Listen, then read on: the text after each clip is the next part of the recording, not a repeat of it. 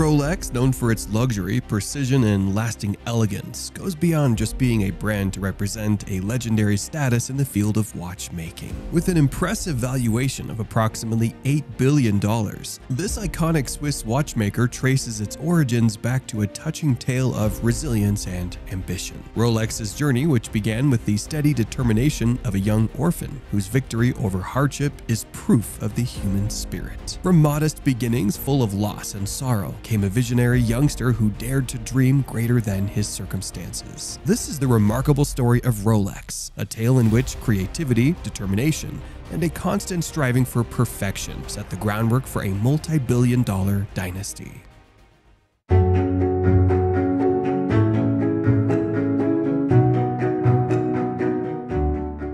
Hans Wilsdorf, the visionary behind Rolex, was born on March 22, 1881, in Kulmbach, Germany. His parents, Anna and Johann Daniel Wilsdorf, raised him alongside two siblings, within a family that managed a moderately successful iron tool business. Tragedy struck early with the loss of his mother in 1892 and his father a year later, leaving Hans orphaned at the tender age of 12. Hans was placed in the care of his mother's brother and then admitted to the renowned boarding school Ernestinum Coburg in Bavaria, Germany. Adapting to the unfamiliar surroundings proved to be challenging. He struggled with feelings of isolation, frequently experiencing social exclusion because of his religious religious beliefs. However, this challenging situation led to the development of a deep sense of independence and responsibility within him, laying the groundwork for his future pursuits. Even with difficulties, Hans demonstrated extraordinary academic skills, particularly excelling in math and languages, displaying a strong passion for French and English. His interest in languages would later be extremely beneficial in his professional life. While in school, he became friends with a classmate from Switzerland who shared tales about La Chaux de Fonds, a city city known for its strong history in watchmaking. This encounter ignited Hans's intense love for watches and the complex craft of making them.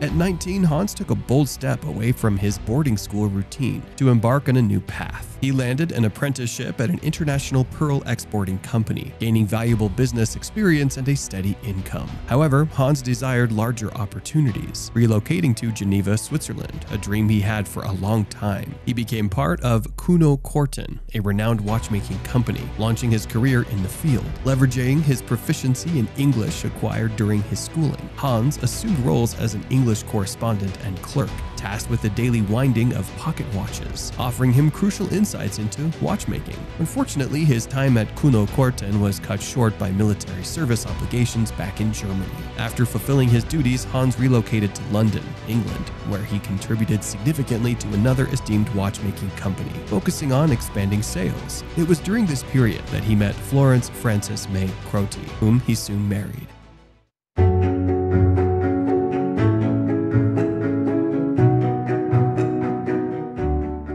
1903, at the age of 22, Hans Wilsdorf moved to London, where unfortunate circumstances befell him as thieves stole his entire inheritance of 33,000 German gold marks during the journey. Despite the setback, he persisted in his ambition to establish his own watch company while engaging himself in the English watch industry. Two years later, at 24, Wilsdorf crossed paths with Alfred James Davis, an unexpected encounter that would change the course of both their lives. Davis, possessing the necessary capital Capital entered into partnership with Wilsdorf, who brought his extensive watchmaking experience from Cuno Korten to the table. This partnership was further solidified by Davis's marriage to Wilsdorf's younger sister. Combining resources, Wilsdorf borrowed funds from his siblings to match Davis's investment, resulting in each holding an equal 50% stake in their venture. As complementary partners, they leveraged their respective skills, with Wilsdorf focusing on watches and Davis excelling in financing and international trade. Together, they established established Wilsdorf and Davis Ltd, sourcing ébauches from Jean Aegler, a company based in Bienne. Focused and determined, Wilsdorf and Davis embarked on their journey, producing two distinct timepieces, a pocket watch and a purse watch, catering to both men and women respectively.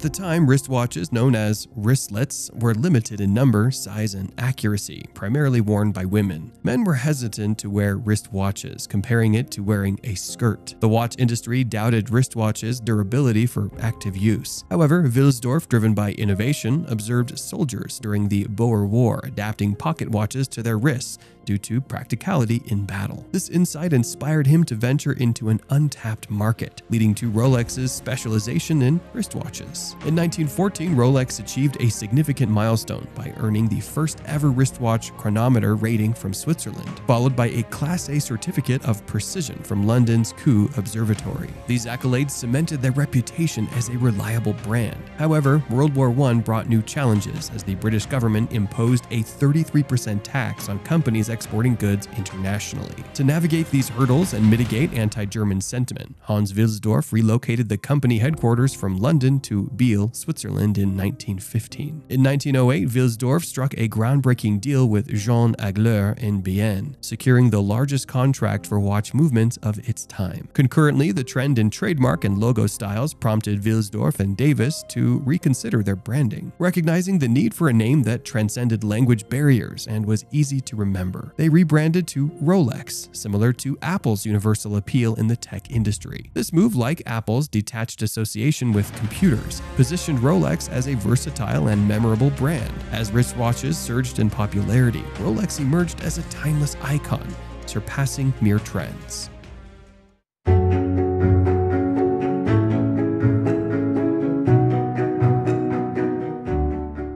1926, Hans Wilsdorf's dedication to progress and technology led to the impressive introduction of the Rolex Oyster. This groundbreaking watch was a turning point in the watch industry for being the first waterproof wristwatch in the world, thanks to its perfectly sealed case. In 1927, Wilsdorf's cleverness was once again demonstrated when he took advantage of a chance to exhibit the abilities of the Rolex Oyster. He recruited London swimmer Mercedes Gleitze to wear the watch around her neck during her swim across the English Channel. Even with the difficulties of the swim, the Rolex Oyster survived without any damage in the cold waters, demonstrating its strength. This occurrence sparked the interest of the public and helped Rolex gain worldwide recognition after a well-placed ad in the London Daily Mail. In order to strengthen Rolex's brand image, Wilsdorf implemented creative marketing strategies, such as displaying Rolex oysters in fish bowls with live fish at authorized retailers. This innovative method not only emphasized Rolex's status for being waterproof, but also confirmed its position as a famous brand in the field of watchmaking.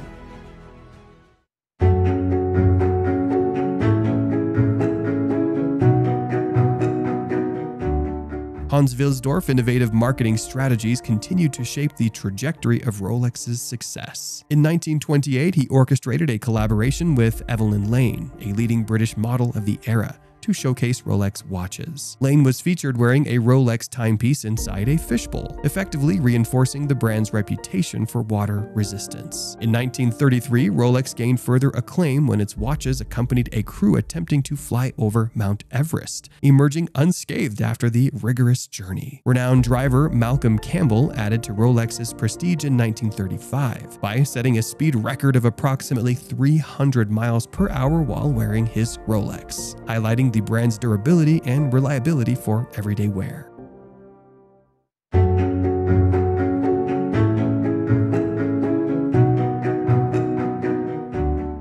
While receiving these endorsements, Rolex continued to advance in innovation. The year 1931 saw the launch of the Rolex Oyster Perpetual, a watch that was noteworthy for being both waterproof and self-winding, representing a major progress in watch technology. In 1945, Rolex introduced the Datejust, the first wristwatch to indicate the date of the month in the dial through a window. The brand solidified its legacy even more in 1953, when they launched the Submariner, a watch made specially for divers. Built to handle submersion to 330 feet or 100 meters, with a rotating bezel for measuring dive times, the Rolex Submariner became a celebrated watch, establishing benchmarks in diving timepieces and demonstrating Rolex's dedication to quality. Rolex continued its tradition of crafting watches tailored to meet the needs of professionals across various fields. The GMT Master, introduced in 1955, was specifically developed for pilots, allowing them to accurately track multiple time zones. In 1963, the Cosmograph Daytona entered the scene,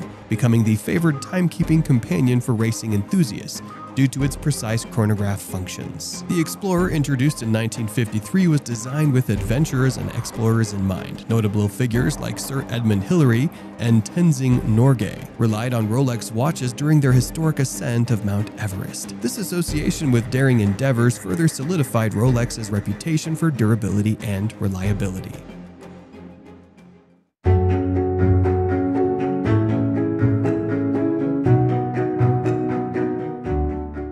Rolex's century-long journey embodies the remarkable resilience and vision of its founder, Hans Wilsdorf, who transformed from an orphan teenager into the architect of one of the world's most esteemed watchmaking enterprises. Hans' unwavering determination laid the groundwork for Rolex's enduring success, marked by a steadfast commitment to innovation, precision, and reliability. Today, Rolex watches transcend their realistic function, serving as emblems of accomplishment, distinction, and enduring elegance. With a legacy spanning a century, Rolex stands as an enduring symbol of horological excellence, captivating the world with its unparalleled craftsmanship and timeless allure.